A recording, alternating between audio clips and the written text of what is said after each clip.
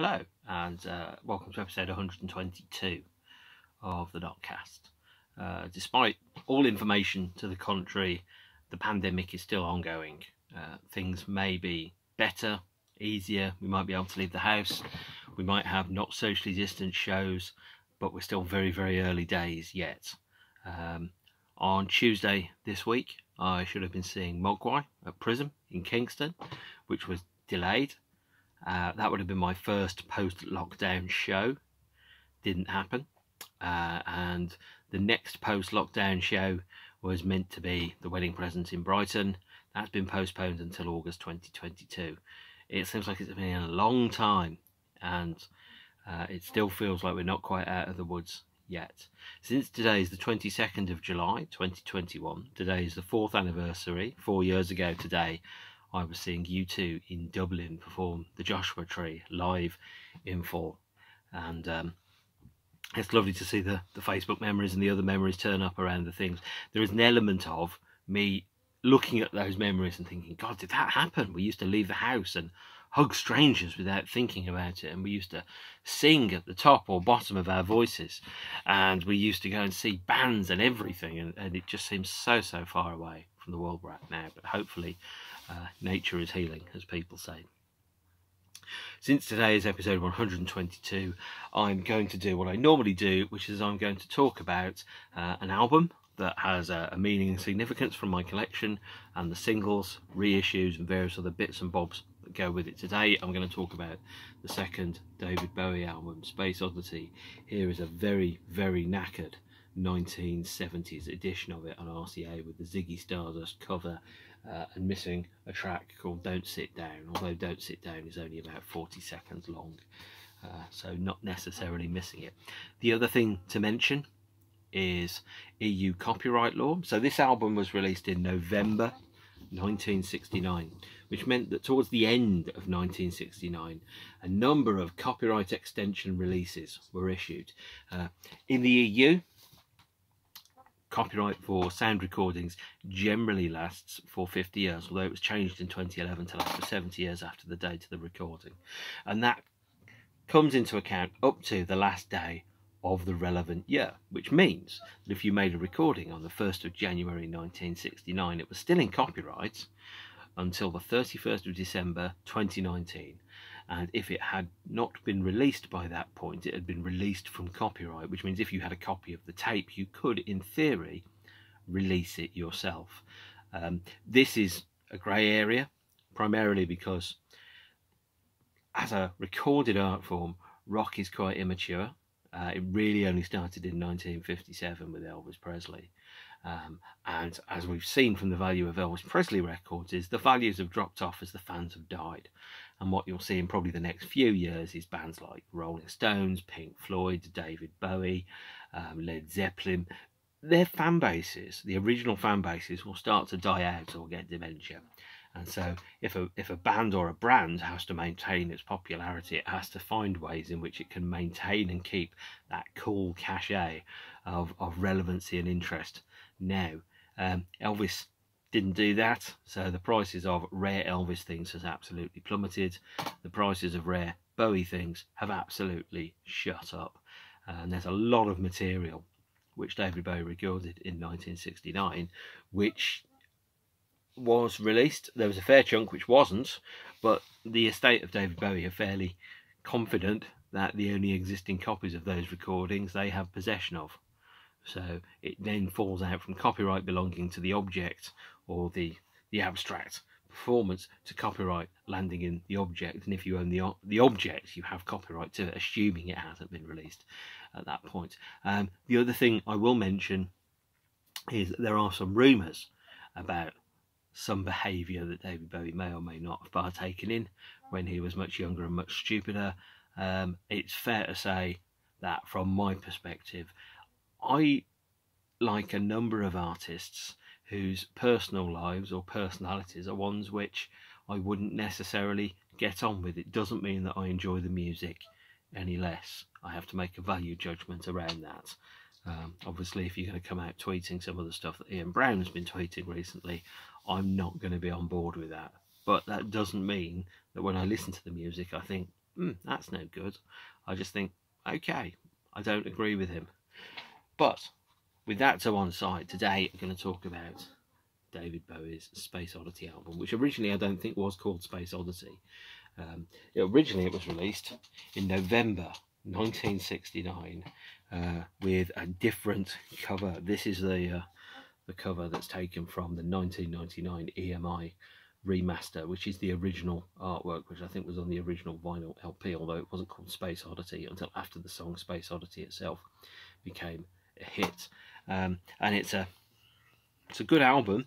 It's um, ten songs, I think, uh, including a song called "Don't Sit Down," which was only 40 seconds long, which was removed from the vinyl pressings from 1972 through to 1990. Don't Sit Down was restored to the running order with the Rykodisc reissues in 1990. Um, and the album from now takes its title and still remains itself being called Space Oddity, even though that wasn't the original title it was released under. So I'm going to talk through Space Oddity but first, I have to talk through the song, or more correctly, the event that inspired Space Oddity, Stanley Kubrick's 2001 A Space Oddity. Here's an early 2000s DVD edition in a box set. I didn't show you this when I did the Stanley Kubrick episode because I had so much stuff to show you. This uh, version of it contains a, uh, a booklet here. Whoa, that's exciting, a collector's collectible booklet, as if some collector collects collectible booklets and it also contains what it calls is an original Senitype. Um, this is uh, a, a piece of film from a 70 millimeter version, or it's a like a, it's not it's not a 70 millimeter frame, but it's effectively almost like a reproduction of a frame from the movie. Um, I don't know why I, I, haven't got that framed up somewhere in my house. Uh, in the early 2000s, they did a thing called limited edition collectors DVDs, where they just packaged pretty crappy DVDs with a whole bunch of other stuff. So, for example, the Blade Runner one had a theatrical poster, the Senitype, lobby cards, and a shooting draft script. 2001 had a numbered Senitype. This version here, number 83,846. That was in the days when you sold a lot of stuff. You know, these days things would sell maybe tens of thousands, you know. And if you're uh, Disney, you want to be pushing people towards not even releasing the, the physical version, but keeping the the uh, the version on streaming uh, to maintain the income stream. So there's uh, this here, um, music soundtrack, Senitype, a word I've never said before and will likely never say again, and a commemorative booklet. Um, and there's the, the DVD release of the film, and there is the soundtrack. Stick them all in there. 2001, The Space Odyssey, was a big deal when it came out, The Space Odyssey. Uh, it, it, in those days, films weren't really shown on television. Television was small, the reception was pretty fussy. I remember when it would rain and you wouldn't be able to watch what you wanted to watch, for example.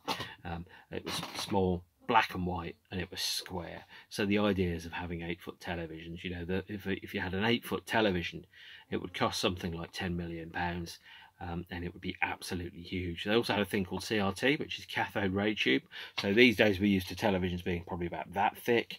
Uh, in the days of a cathode ray tube, the cathode ray tube was like that that thick. So you'd have televisions that were absolutely enormous. You couldn't mount them on the wall, uh, and you'd need at least a foot if not longer, uh, for the gun to shoot the image onto the onto the screen. Um, so watching movies on a television and was was practically practically it was rubbish until at least the 80s when you had VHS tapes and even after that it, it probably watching movies on TV was very distinctly a second division distant and estranged relation to watching the movie at the cinema on the big screen. And things like 2001, Star Wars, they would show for years. Um, 2001, I think, opened in, I think it's May 1968 or thereabouts. It played for something like 18 months. Star Wars played for well over a year in the cinema. Films were played for a long, long time. The cinema release wasn't going to be the advert for the DVD or for the streaming version on Netflix. The cinema release was the big deal uh, and there was only a certain number of prints in existence. It wasn't like Netflix where you could press a button and you instantly had a copy that you know could be endlessly replicated at no cost. And Space Odyssey was a huge, huge, huge film. And I think that it, it really kind of inspired David to write the Space Odyssey song. Um, now, there's a lot of co correlations between 2001 A Space Odyssey and the Space Odyssey song. You think about the, I think there was a an allegory in, in Space Oddity as a song where he sings about here I am floating in a tin can. Uh, planet Earth is blue and there's nothing that you can do. And when he sings about that, he's also kind of thinking about the fact that Frank Poole, who's the astronaut who dies in 2001, is sat alone in a spacesuit, flies, flying through the, flying, floating, flying through the void of space, separated from everything around him. And around about the time that David wrote it, um, he also went through one of the, the major breakups of his life uh, from uh, a woman called, I think, Hermione and um, who, who went off to, to, do something else, which was a, something that he referenced even right at the end of his career by wearing a T-shirt with the name of the play or the film that she was went to work on when they split up almost kind of saying everything that's happened after this is the result of that decision because obviously when you're a person and you go through a split up you, you or, or a separation you kind of like have a theory you have like an idea that your life will go from one place to another and then all of a sudden you find that actually you have to take a left turn you're going in a different direction you know you become somebody else who can I be now? Where are we now? These are all the kind of questions which are happening when when someone uh, splits up with somebody else. So Space Oddity, uh, released in November 1969, was I think probably David's attempt to step outside of the initial kind of work that he was doing. So his first album, as, as I mentioned previously, was uh, very much about imagined experience, not real experience, and around him kind of um, portraying things that he may not necessarily have had any actual experience of in his own life, but more things and observations that he'd seen. Now, that I read a, uh, a quote by Michael Stipe. Uh, that he that he wrote about someone's interpretation of his song, and he said the mistake that you've made is you've inserted me into the song.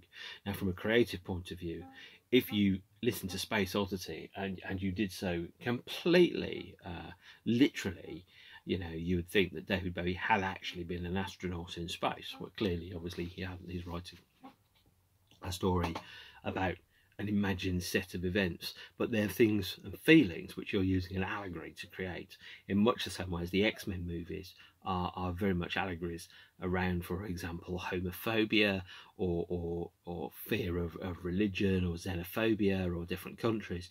Space Oddity is him writing about the loneliness that he felt, I think, when, when he, he, he split up with someone that he was clearly very, very affectionate around.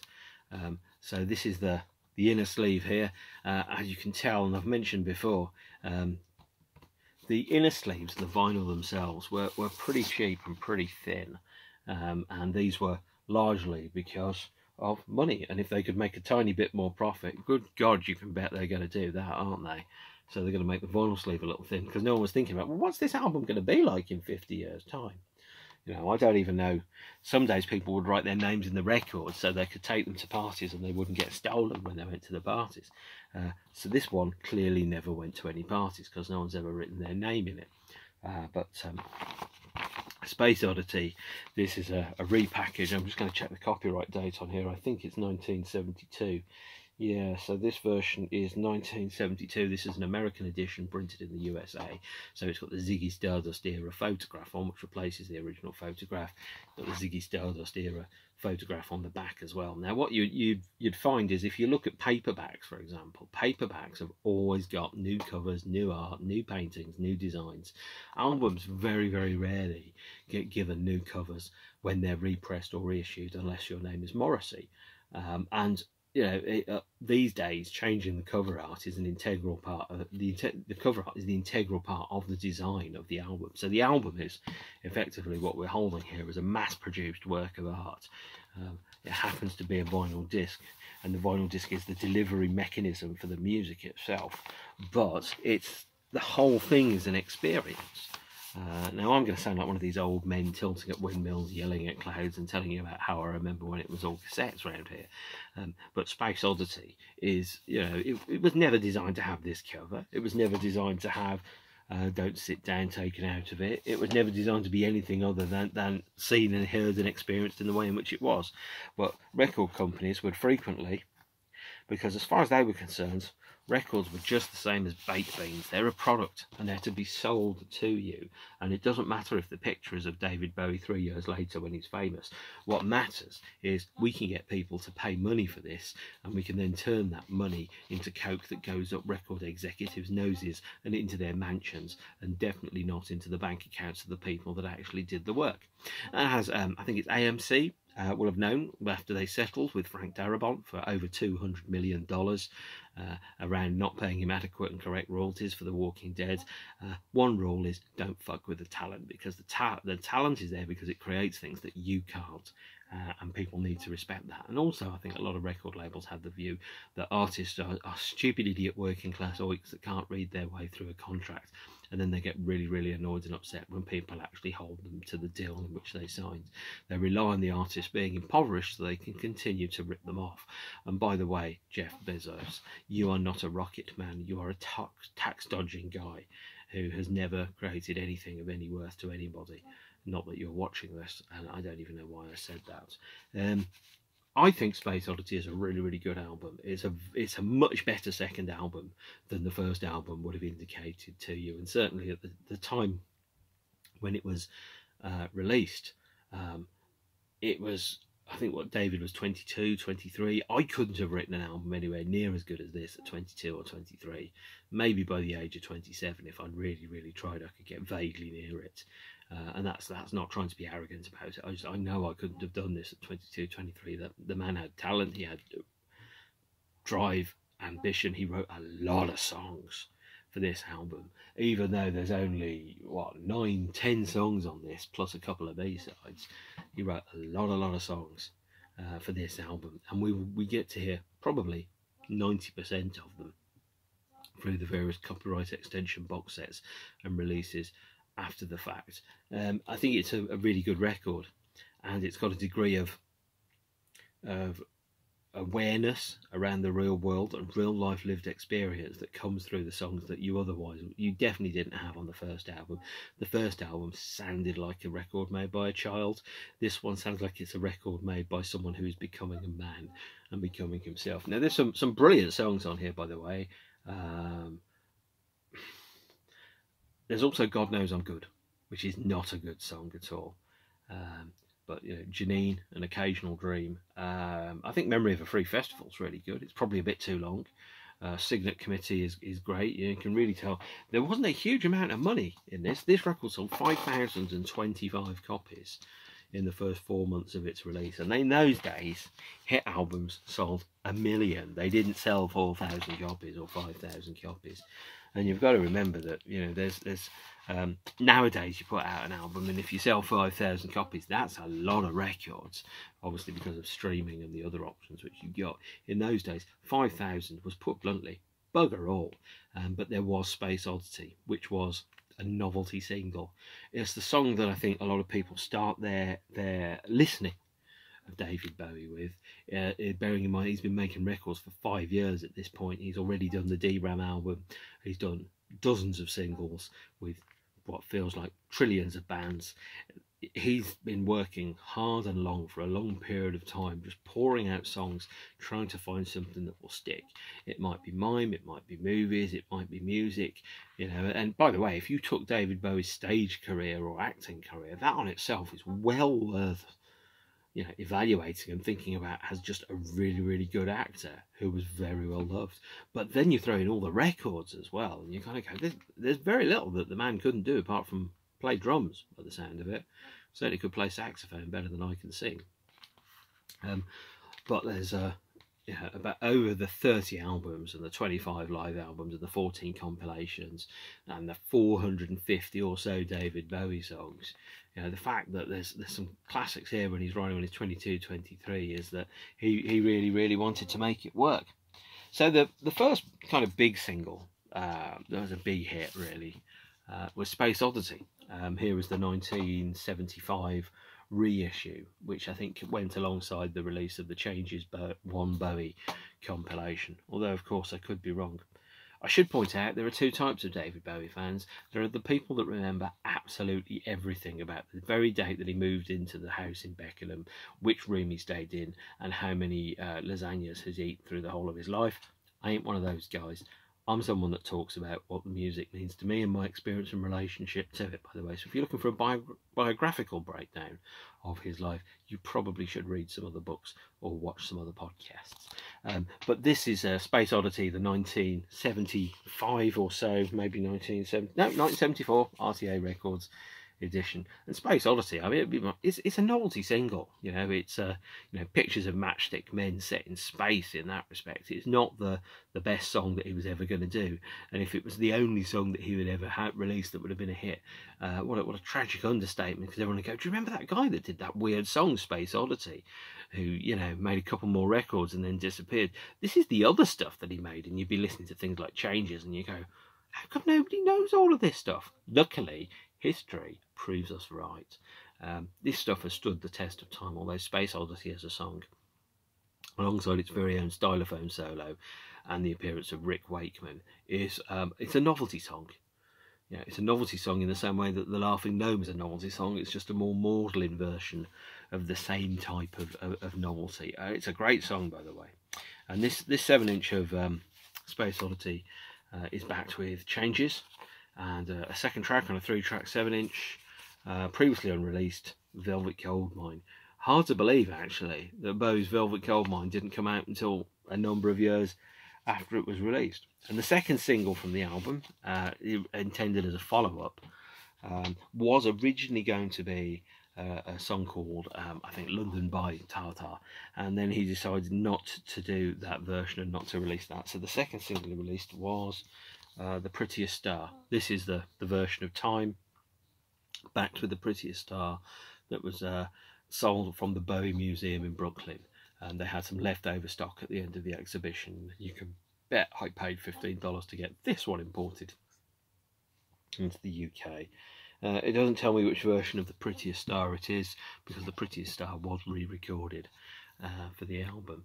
Um, and Space Oddity, by the way, was also re-recorded in 1979. Um, here is a, a single or a, a, reissue single of Alabama Song backed with the re-recording of Space Oddity. And Space Oddity was recorded in 1979 uh, for a television appearance on the Kenny Everett show with uh, the band which uh, David was considering touring with following the release of the, the relevant album, uh, which I think was Lodger. He also uh, recorded a couple of other songs um, to, for the soundtrack for the Kenny Everett TV appearance, which were the only songs which he did because then John Lennon was murdered and David decided not to tour. So there's a re-recording of Space Oddity from 1979, uh, which is fascinating and, and, well worth hearing. Of course, as we move into the, the CD era, um, there's a couple of other things which have come out from the album. Uh, the first one is here is an appalling compilation record called Bowie Rare, uh, which David Bowie absolutely hated, and quite rightly so. Uh, this has a, a, an Italian language version of Space Oddity called Ragazza Solo, Ragazza Solar, which I think translates as Lonely Boy, Lonely Girl, and he sang the lyrics in Italian. Um, and they're completely different. They have a completely different meaning, and he committed to it and sang it. The rest of the album is non-album B-sides uh, by and large that have not been on any other records. Um, and this was released I think in probably 1982 or thereabouts with a then contemporary photograph of Bowie. The idea being is that it would fool you into thinking ah this is the modern stuff that we like. Uh, this might have come out actually after the release of it definitely came out after the release of Crystal Japan but it might have come out the same time as, as Baal or possibly Let's Dance. Never been on CD that I know of, um, and David Bowie hates it because he thought that using a, a, contemporary picture of him in 1983 to advertise recordings made between 1970 and 1981, none of which he'd regarded to be good enough to go on an album, was exploitative.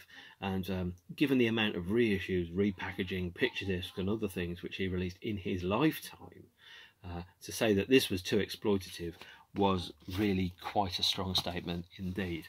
Um, on the reissue front, the next thing that we had from the album uh, was released in 1990, and oh boy, is this a beauty! This is the uh, the Sound and Vision Rykodisc box set.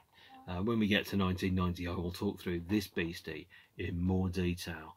Uh, this version, three CDs plus a video CD, which is kind of like a DVD but much crapper. Um, and the, uh, the the Sound and Vision box set features the uh, previously unreleased demo version of Space Oddity, more of which on that later.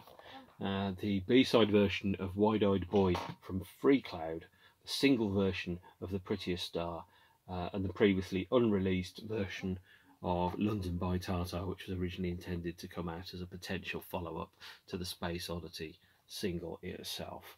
Um, also going to point out, this is one of the very, very nicest packages which there is, primarily because you open it up and there's a uh, the the picture of David that you can see uh, printed onto the frosted kind of PVC plastic pane that sits on the the box set itself.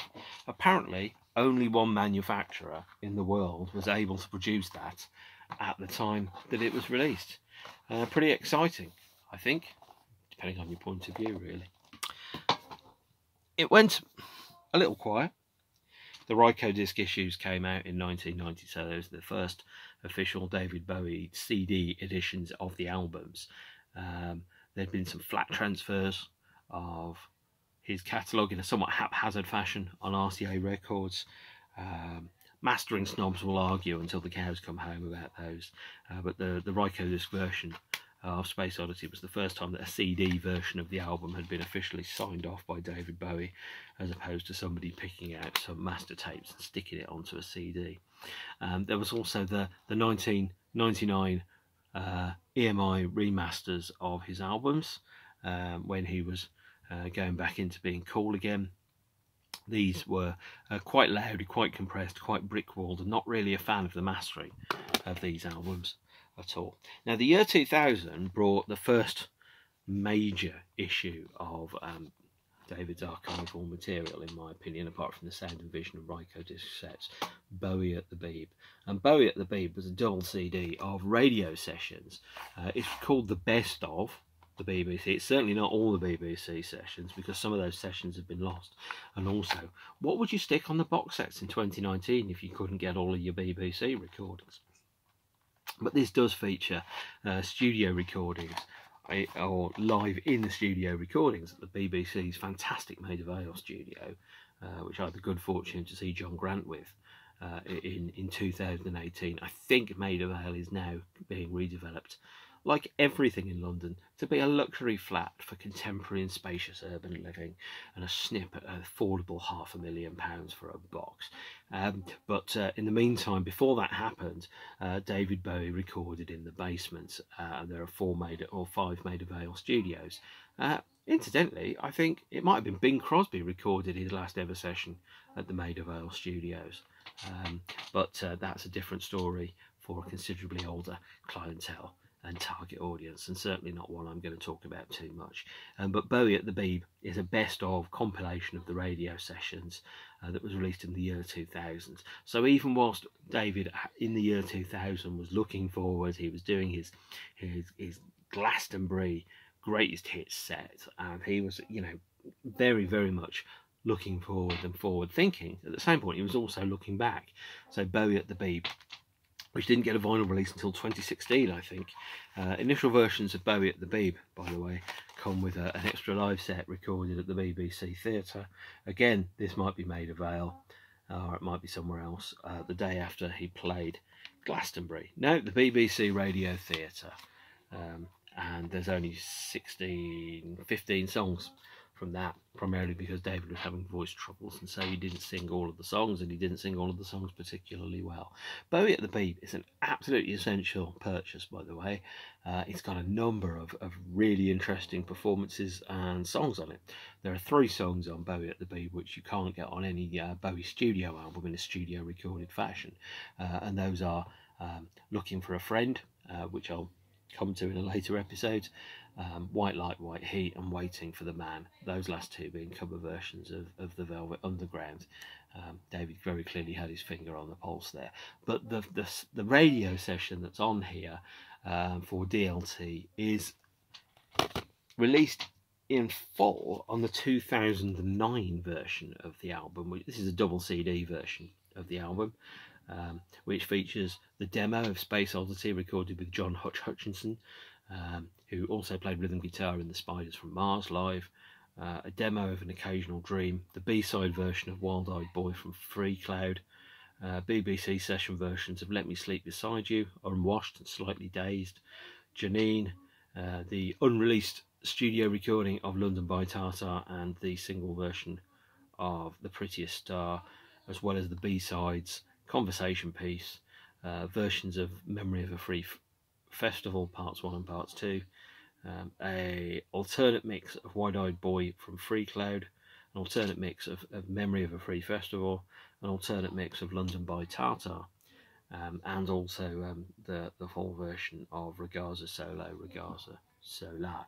Now, the there's also alternate mixes of a number of album tracks that appear on the Conversation Piece box set, uh, but I do not have Conversation Piece, um, which I will explain later. Um, there's also this box set, David Bowie, Five Years. This contains all the studio albums, all the, the live albums um, released from the period in the five years running 1969 to 1973.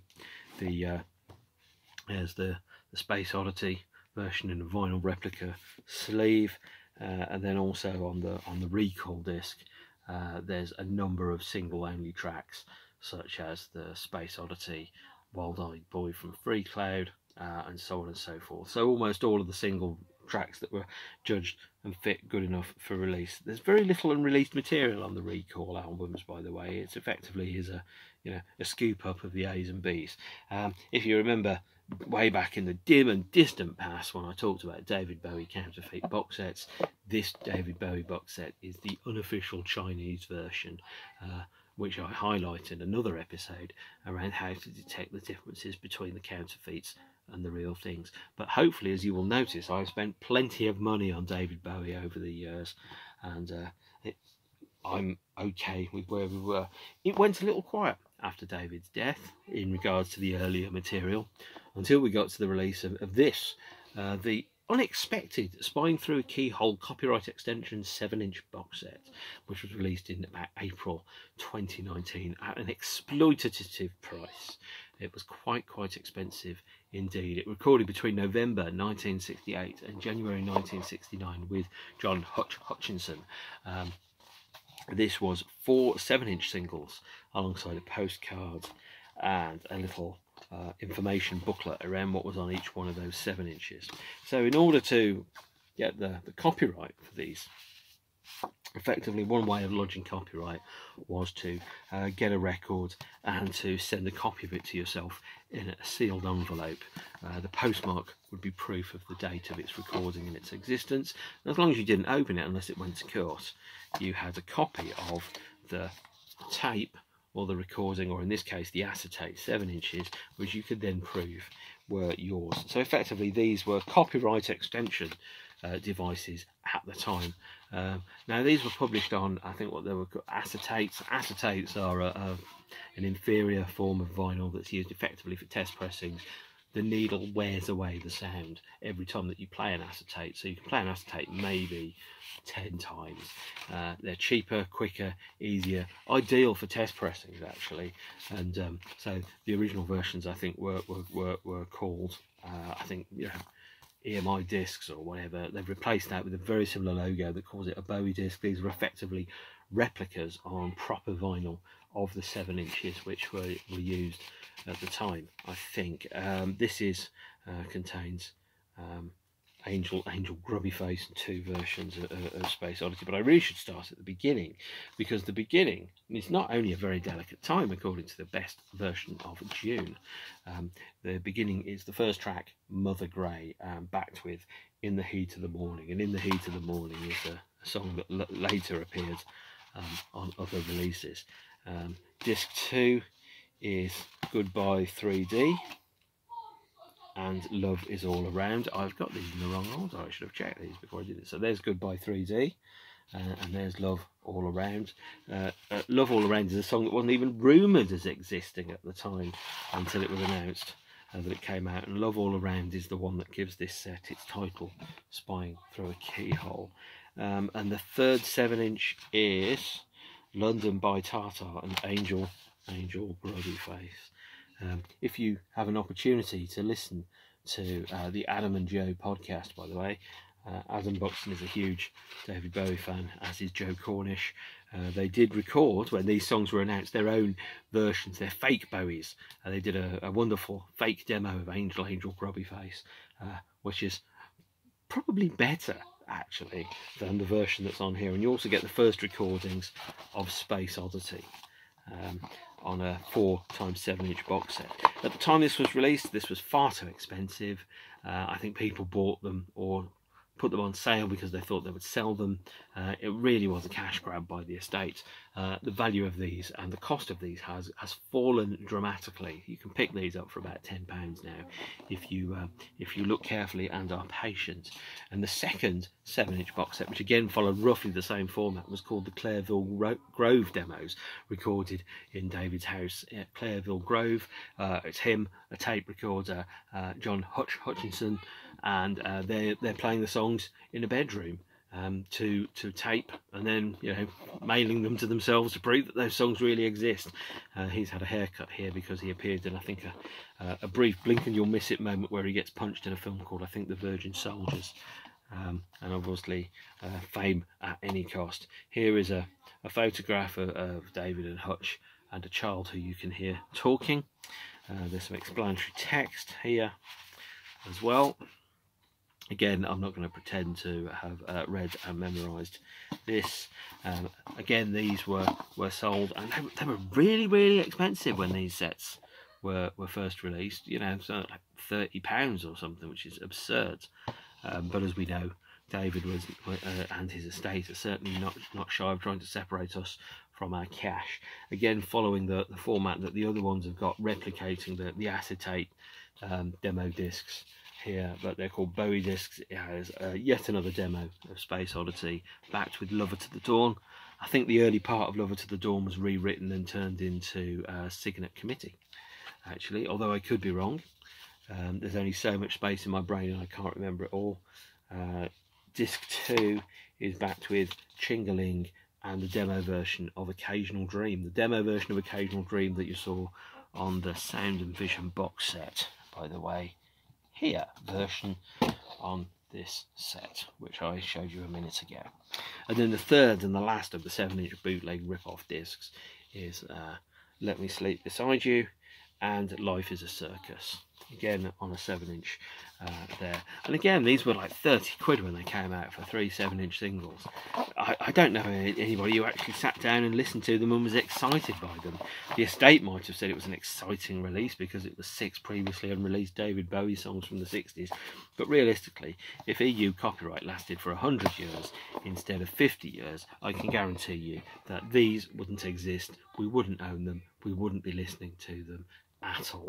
And in any event, this most definitely, these releases would have been in the only release when I'm dead pile. Uh, apparently the estate open a letter every year from David that says this is what I want you to release, year six, year seven, after my death. Um, and certainly, you know, year 1969, they probably thought in 2019 we want to release seven seven inches of me playing acoustic demo versions of songs and charge the earth for them. The next release, again in uh, 2019, was the uh, the Mercury Years uh, Demos LP. When this came out, this was priced at a frankly absurd and obscene £91 99 uh, I'd like to thank my patience and my tight wallet for buying it for £20 two years after release uh, from Amazon primarily probably because they got them piled high thinking people will buy any old shit with the word David Bowie written on it. Well guess what suckers? It ain't and that's why there's not there's not they're not doing the 7 inch picture discs anymore. The Mercury demos is effectively um, uh, a replica of the the Mercury demos that they recorded when they were under consideration for Mercury Records. So there's one LP in here, which for £91.99 roughly translates to about £3 a minute of music. This is the original uh, reel-to-reel tape, uh, and then there's the, the 7-inch here, which features David's handwritten notes, again replicating the, the Bowie disc uh, acetate format, but this time for a 12-inch with handwritten labels. It is in mono, it is uh, one guy, well two guys, two guitars, two voices performing a number of unreleased songs in a bedroom in South London um, and trying desperately not to wake anybody up. The other major sin that this box set conducts is that there's, there's actually, they've just tried to pad out and make it feel more expensive by putting in what feels like about two centimetres of foam padding to make it feel thicker than it actually is. There's no reason for that to be there, apart from to make you think that if you're buying a box set that's an inch thick, it must be worth £91.99 as opposed to anything else. The, the set also contains, hang on a second, uh, a envelope with photographs and text. Uh, here's yeah some text. Here's some some photos and here's a couple of contact sheets of photographs from the same thing again absolutely no idea why this costs so much it most definitely was not worth it in fact if there was anything that this should have been called it should have taken its name from the monty python compilation release the final rip-off they clearly must have thought, the estate, that we just had more time and money than sense. And what we desperately, desperately wanted to do was spend nearly a hundred pounds on a 12 inch and a, a, a, couple of laminated photographs. Put any old tat on it, mate, and we'll sell it. That's absolutely fine. Uh, which, of course, it absolutely isn't because if you bought the two 7 inch box sets and you bought this and you've got Space Oddity and you've got it on the 2 CD version there really is very very little reason for you to buy the 5 disc set of Conversation Piece which by the way retails for a wallet hurting £75 so if you bought everything from the album uh, in the year 2019 yes you would have paid about £30 for that. You would have paid about £30 for this. You would have paid about £90 for this plus £75 for the Conversation Piece 5 CD box set. So you will have paid somewhere in the region of £250 to get the same contents but spread over a huge number of additional releases that you don't need. I mean even the vinyl versions alone would have come to something like £160 plus the £75 from the, uh, the other version that came out. So Conversation Piece, by the way, if you can find it cheap, buy it absolutely great. You certainly don't need all of those releases on vinyl, but Conversation Piece contains seven new demo recordings, and that is demo versions of songs April's Tooth of Gold, uh, the the something something, the Reverend Raymond Brown, the very last one of the Deram style songs about imaginary people and imaginary lives, uh, a demo version of When I'm Five, uh, a demo version of Animal Farm, Conversation Piece, Jerusalem, and a song called Hole in the Ground.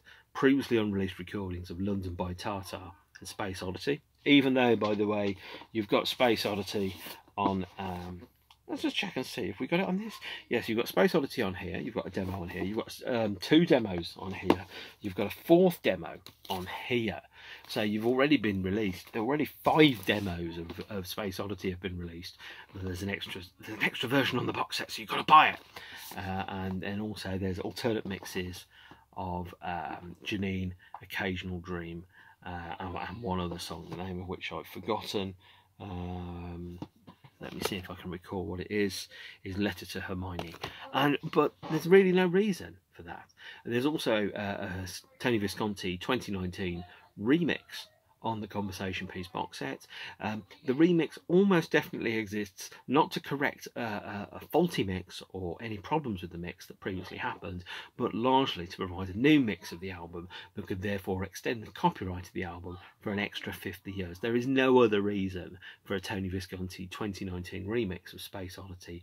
I don't think they got the first album wrong, and I think the remix had so little to it that, frankly, it, it might as well just be called the copyright extension remix and be done with it and just be honest about it, guys.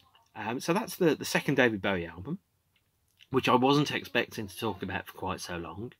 Um, I thought to be honest, um, that I might do all of the albums on this box set in 45 minutes. Um, I think I'm going to have to rethink that. Um, I think this might take a little bit longer than I thought. Luckily, um, there are 13 other David Bowie uh, podcasts which are available for you if this one isn't one that you like. Uh, in the meantime, since it is still the 22nd of July 2021, I'm going to wrap up here. It's a Thursday, it's been a very long week.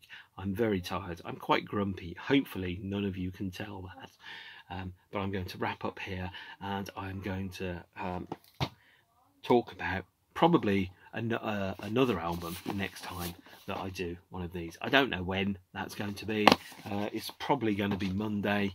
Um, although obviously, if you're watching this six months in the future, I will have already done it. So you, so you know more than I do.